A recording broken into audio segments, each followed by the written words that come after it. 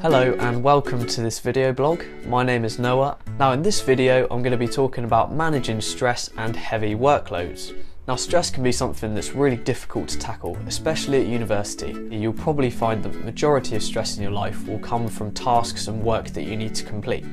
Now my first tip for everyone is to write absolutely everything down every little task that you need to complete, write it down on a little post-it note, you can have more than one, and then stick it up on your wall or somewhere where you can see it.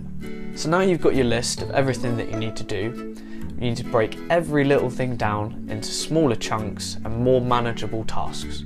After you've done this, you can set yourself little deadlines for when each task needs to be completed. So you've got your tasks, you've got your deadlines, now all you need to do is just get to work. Make sure that you have all the necessary materials that you need. It's also ideal if you have a clean and tidy environment in which you can work in. Now when you're working through each task, you want to make sure that you're hydrated and that you take regular breaks to give yourself a little bit of a rest. Now after you've done that, you should be feeling a little bit more relaxed and feel like you've got yourself organised. Now my next tip is more of a stress relief tip. And this is something that a lot of people overlook, and that's exercise. Now, getting fresh air and the right amount of exercise is really, really important to keeping you healthy, but also it's a great stress reliever.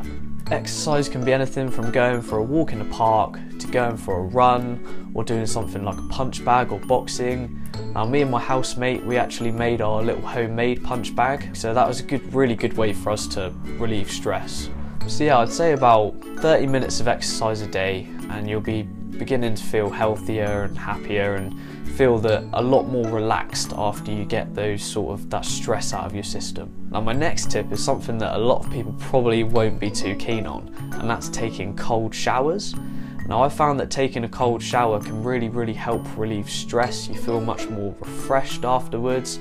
But like the first five, ten seconds, the water's absolutely freezing and you're kind of like like gasping for air but um, actually feels really good and like after like 30 seconds or so the water just feels fine and you get used to it but I found that it's really really good for relieving stress and making you feel good afterwards. Well my next tip for relieving stress is probably a bit of an obvious one a lot of people laugh at me when I say this that's meditation. I find that meditation is so so so relaxing and is something that you should do anyway even when you're not stressed but it can really, really relieve the symptoms of stress and make you feel much, much more relaxed. And you can do it anywhere, you can do it at home. Um, I do believe that the university also runs yoga classes. Now, yoga is slightly different to meditation, but again, it's those sort of stress relief techniques that you learn. A lot of people do overlook as well eating a healthy, balanced diet. I think this is something that people should aim for anyway, even when you're not stressed. But eating the right things can really make you feel much, much better in yourself um, and you get the best sort of performance out of your body. Going out and socialising is also really important. Um, seeing friends, talking to friends, especially if you feel stressed, like talking things through with your mates, going to the pub, going to the park, like just socialising and have a good group of having a good group of supportive friends around you can be really helpful during stressful times.